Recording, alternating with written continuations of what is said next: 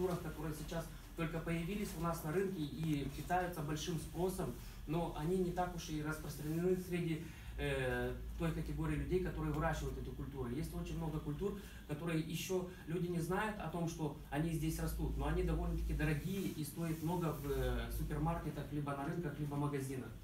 И вот целью этого проекта довести информацию о существовании э, этих технологий, о существовании возможности выращивать культуру, как менее вкладывать и менее затрачивать свои силы и финансы и ресурсы для того, чтобы достичь хороших результатов.